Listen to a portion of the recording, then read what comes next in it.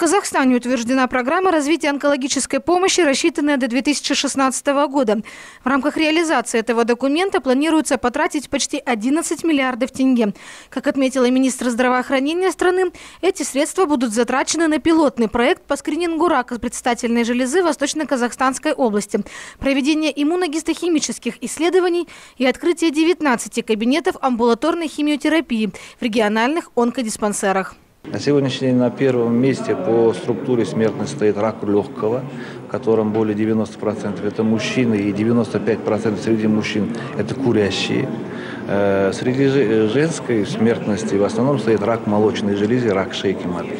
Вот эти основные причины смертности, через, с которыми мы будем активно бороться. Но Э, еще раз говорю, что к 2016 году в Казахстане будут уже функционировать все лучшие технологии в мире, которые на сегодняшний день есть по диагностике и лечению рака. Также, по словам Эрика Байжусунова, в рамках программы развития онкологической помощи поэтапно до 2016 года будут внедрены и расширены скрининговые процедуры на раннюю диагностику злокачественных образований предстательной железы, пищевода, желудка и печени. Таким образом, медики надеются увеличить число выявленных на ранней стадии онкологических заболеваний и тем самым увеличить число вылеченных случаев. Создан национальный канцер-регистр, где у нас стоят на учете все э, больные, которые болеют злокачественного образования. На сегодня в этом регистре у нас свыше 144 тысяч человек стоит. Вот. Ежегодно в Казахстане выявляется свыше 30 тысяч новых случаев рака.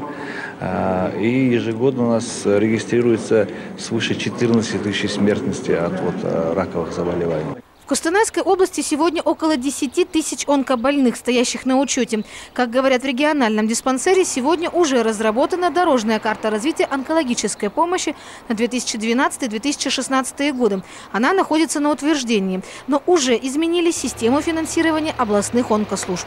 В отличие от прошлого года, если раньше нас финансировали за каждый пролеченный случай, вот, и за каждое посещение да, нашей консультативно-диагностической поликлиники, то с этого года финансирование идет на одного учетного больного. То есть на деньги идут на каждого больного, который стоит у нас на учете по поводу злокачественного образования. При этом сейчас, отметил Мурат Бадыров, перед онкологической службой Кустанайской области стоит задача решить ряд проблем для успешной реализации новой госпрограммы. Это решение проблем со штатом и технической оснащенностью онкологической службы. У нас нехватка кадров, во-первых. Во-вторых, у нас э, недостаточно диагностического оборудования на уровне первичной медико-санитарной помощи для проведения диагностики. Вот нет эндоскопического оборудования, так, нет цифровых маммографов. И, к сожалению, нет специалистов, кто бы работал на, этих, э, на этом оборудовании. Без диагностического оборудования мы диагноз на ранних стадиях э, очень тяжело поставить. Стоит отметить, что в государственной программе развития онкологической помощи указано, что в Казахстане будут созданы пять региональных высокотехнологических центров радиационной онкологии. Они будут открыты на базе онкологических центров Алматы, Семея, Караганды, Актобе и Астаны путем модернизации их материально-технической базы. В Кустанайской области в 2013 году приступят к строительству онкологической поликлиники. Александр Стаканов, Ярослава Богатырева, РТН при поддержке Интерньюз Казахстан.